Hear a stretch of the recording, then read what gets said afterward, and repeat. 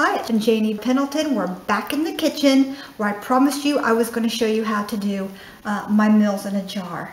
Now, the first thing you want to start out with is you want to start out with fresh produce.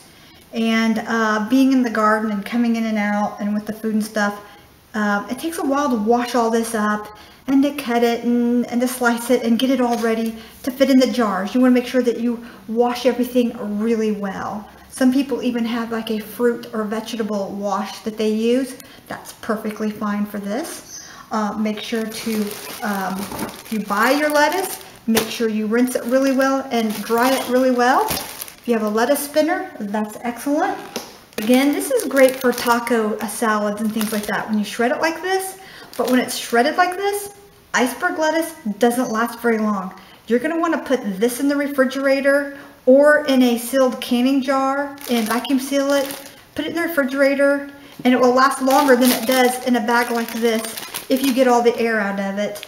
But try to buy lettuce and produce that's in really good shape to begin with. Check the bottom of the bag. Make sure you don't have frozen lettuce or even lettuce that's like already turning brown and with water sticking to the bottom of the bag.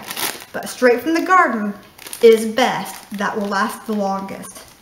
I've had my meals in a jar last anywhere from five to eight days. You can add things like uh, chia seeds and things like that to your yogurt dressings.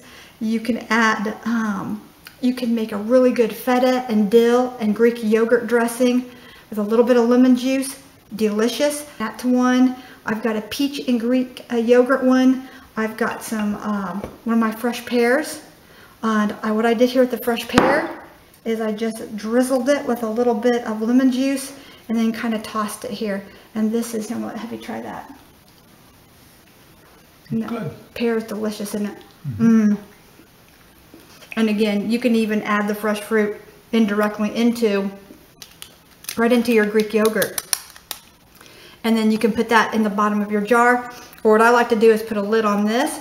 I save my little yogurt tops, put a little piece of foil or plastic on that, and sit that right down on top, and then vacuum seal. This way, this stuff stays dry, and it doesn't have to sit down inside the um, inside the dressing. Besides our lettuces, we have uh, fresh celery from the garden. We have tomatoes, tomatoes. These have less acidity. So if you find tomatoes bother you, uh, like I do, uh, try the yellow tomatoes.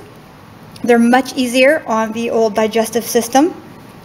We've got wash fresh uh, mushrooms, and we've just chopped these up. We've got some baby carrots. Also had a bag of shredded carrots. Had one cucumber.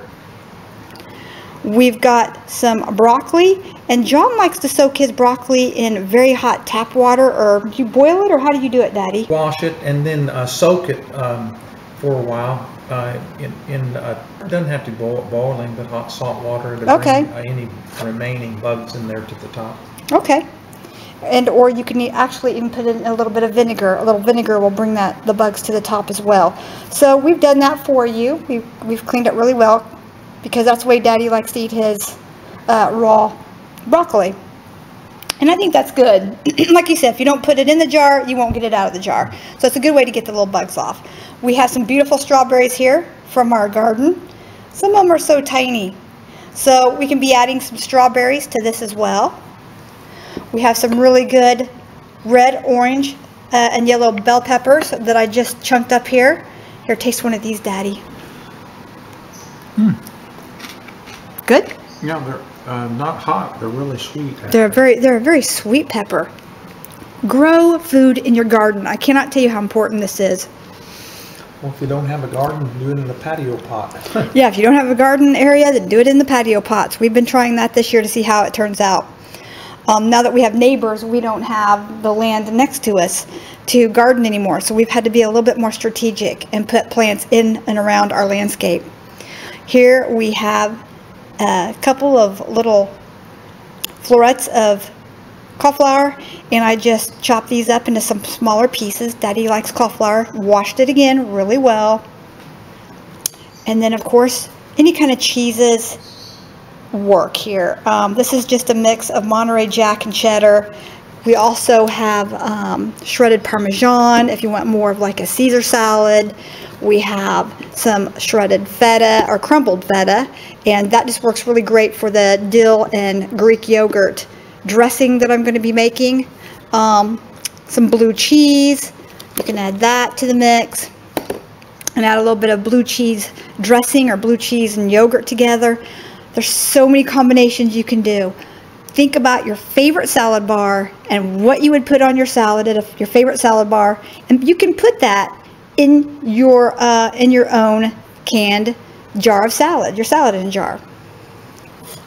We talked about fruit. Here I have some of our fresh cherries, and I've only pitted just a few uh, because I didn't have time to pit everything. And um, here for meat, Daddy, I got you some grilled chicken. Smell that. It is smells so good.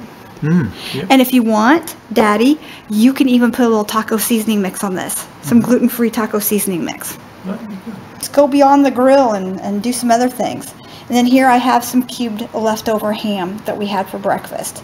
All right. So, and here I want to talk a little bit about the types of lettuces that help your salad in a jar stay fresh longer, especially when we're out in the RV traveling. Um, romaine hearts of lettuce. This lettuce I find chopped up along with my spring mix or my arugula and spinach. These are the things that actually stay crispier longer.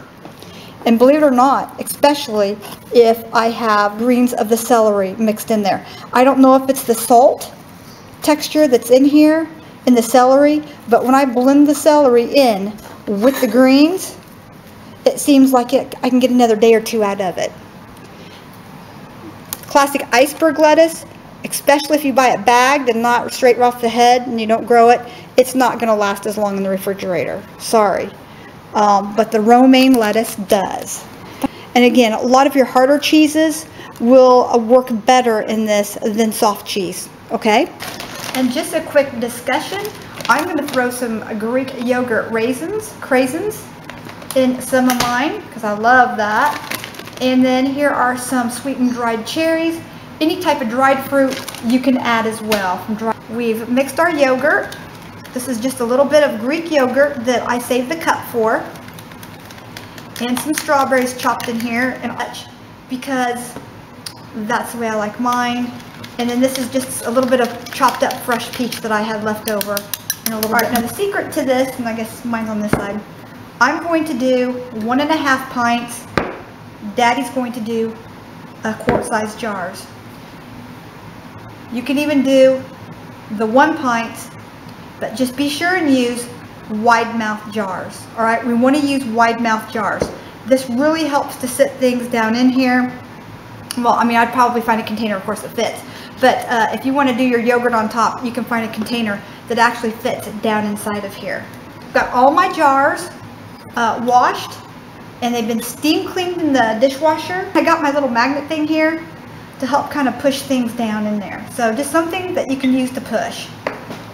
People usually want to put the salad in first and then go towards the wet ingredients and just kind of let that soak through. Well, that's bad. That makes your salad wet. Your salad sits in water and then it grows old quicker.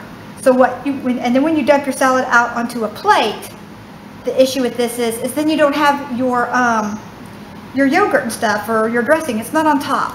So I always put the wettest ingredients on the bottom, including fruit and anything that can go down inside the wettest ingredients. And then I put the dry ingredients ending with the salad. So when I toss this upside down like this on a plate and I go like this, then I can just kind of drizzle out the dressing then on top. Tomatoes, uh, mushrooms, good choice, some broccoli and a little bit of celery, good job. Ooh, some carrots, put, put lots of carrots in there. You got, layer that on, you got room. There you go. Um, you got cauliflower. Ooh, he's making his nice and colorful. Now at this stage, what I do is I just stop and I just kind of give it a little bit of a press. You're going to be glad that you did in a minute. Chicken, that's fine. A little bit of chicken. Ooh, he's going for the orange pepper. Okay, now take your green, your little green magnet there. Kind of push it down again. There you go. That's good. Would you like some pear or strawberries? Or mm-hmm. there's even some really good fresh. Ooh, two of them, special two of them. and a little bit of iceberg lettuce. There you go. Good job. A little bit of the spring mix. And this is the arugula and spinach, and I and I got this specially for you. So, and trust me, we're gonna really stuff that in there. So, There you go. is that it? Yep. Now, do you want to eat a little bit of cheese? Just a little bit, not a whole lot. All right, just a little bit of cheese on top. Let's let's kind of toss the cheese down inside of there just a little bit and kind of get that cheese tossed in there. He doesn't want a lot, just a little bit. There we go. We're kind of tossing the cheese in there. We don't want that to get stuck together in one big clump. So if you toss the cheese in here with it. Now what we're going to do now is we've got plenty of room for more lettuce, trust me. We're going to go ahead and press this in. Just pressing in, just like this. Now, here's John's, you watched him make it, and you've seen how easy it was. When you do it in a buffet style like this, then everybody can have what they desire, what they want. A little bit of water or a little bit of vinegar, that's fine.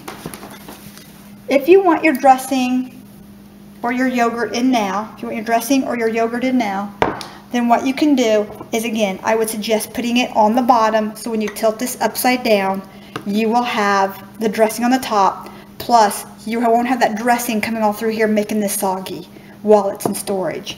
I, however, store my dressing separately or if you save the little dressing packets from things from when you go to eat at lunch for at work or whatever, or you can get those little packets or ask for like certain dressings whenever your kids get their chicken nuggets, you can ask for extra honey dressing or rancher dressing cups, then just put those down in there and then seal them with those down inside of there. But I always wash them really well because you know other people have touched them. All right, so now what we're gonna do is we wiped off our rim really well. We've got a clean ball lid here, clean ring. Now you can put it in the refrigerator like this, or we can use our handy dandy sealing machine. And remember, this is just the FoodSaver, the hose, and this is our large size candy jar lid. Place the lid on in the center. Lock the machine. You're gonna watch this green light. When the green light comes on, you'll hear this lid pop. Light. Okay. See how we did. I didn't hear a pop, but there it is. All right. Show this to you up close. And there we have it. We know that that's on. All right. All the air is out and his salad is in perfect condition and this will last him at least since it's got the arugula and the spinach in it it should last a good five days in the refrigerator vacuum sealed. So he's all ready to go with his salad and whenever he's ready to eat one all he has to do is gently pop this open so he can reuse this lid over and over and over. You know I've reused my lids many many many times over. And remember you can't reuse your lids for canning pressure canning but you can reuse your lids for vacuum sealing, either from vacuum sealing or from canning. So these are reusable and old used lids. Okay, if they're in good shape, you can use them for vacuum sealing. So now you know what to do with all those lids that you thought you were losing. You can use them for vacuum sealing. All right, so we've got that. And just in case we're traveling, there you go. And there's our first salad in a jar. He's got the wetter ingredients that might leak on the bottom. And we're just going to sit this right up here. And that too will go into the refrigerator, okay? I just want to give you an example of how I can get my yogurt and my lettuce all in one meal. And I can even, there's enough in here, this could last me for two meals, no doubt. I could eat. Um, but when I do pour this out, I get my dressing on top, okay? So here's another one for the refrigerator. Okay, here John is just starting out with his salad in a jar, which of course we just dumped it right out onto his plate. We have some extra dressing here for dipping the salmon and or for drizzling onto a salad. Got the Greek yogurt in here as well, so that is fine. So be sure and stay tuned tonight because we've got some really great conversations coming up with Maranatha Minutes.